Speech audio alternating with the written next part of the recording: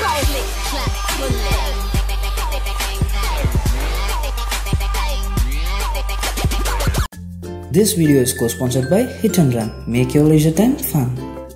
இன்னனோட் cinema வியூவர்ஸ்க்கு வணக்கம் big Boss season two இன்னையோட முடிய போகுது இன்னைக்கு தாங்க கிராண்ட் ஃபினாலே நம்ம எல்லாரும் அவளாக எதிர்பார்த்துக்கிட்டு இருந்த இந்த நாள் இன்னைக்கு தான் இதில் டைட்டில் வின்னர் யாராக இருப்பாங்க யார் ரன்னர் அப் ஆவாங்க அப்படின்ற 90% பர்சன்டேஜ் எல்லாருக்கும் தெரியுங்க. அதை அஃபிஷியலாக இன்னைக்கு நைட் பிக் பாஸ் வெளியிட்டுடுவாங்க. இன்னைக்கு காலையில் விட்ட ப்ரோமோவில் கமல் என்ன சொல்லியிருக்காருன்னு பார்த்தீங்கன்னா ஜெயிக்கிறதுல ரெண்டு விதம் இருக்கு. நேர்வழியில் போய் ஜெயிக்கிறது அப்புறம் குறுக்கு வழியில் போய் ஜெயிக்கிறது. நேர்வழி ஜெயிக்குமா குறுக்கு வழி ஜெயிக்குமா அப்படின்னு ஆடியன்ஸ் கிட்ட கேட்குறாரு கமல். இவர் இப்படி பேசுறதுலேருந்தே தெரியுது. ரித்விகா தான் டைட்டில் வின் பண்ண போறாங்கன்னு. பிகாஸ் நம்ம எல்லாரும் நூறு டேஸாக பார்த்துட்டு தானே அங்கே இருக்கோம். ஐஸ்வர்யா தன்னோட டாஸ்க் எல்லாத்தையும் குறுக்கு வழியில் போய் தான் ஜெயிச்சாங்க. ஆனால் ரித்விகா ஸ்ட்ரைட் ஃபார்வர்டுங்க ஸோ கண்டிப்பாக ரித்விகா தாங்க பிக் பாஸ் டூ சீசனோட டைட்டில் வின்னர் ஸோ கண்டிப்பாக ரன்னராக ஐஸ்வர்யா தாங்க வருவாங்க. இந்த ரன்னர் அப் டைட்டிலை ரிசர்வ் பண்ண ஐஸ்வர்யாவுக்கு தகுதி இருக்கான்னு கேட்டால் இருக்குன்னே சொல்லலாம். பிகாஸ் ஐஸ்வர்யா எல்லா டாஸ்கையும் அவங்களோட இன்வால்மெண்ட்டை கொடுத்துருக்காங்கன்னே சொல்லலாம். இந்த டைட்டில் வின்னர்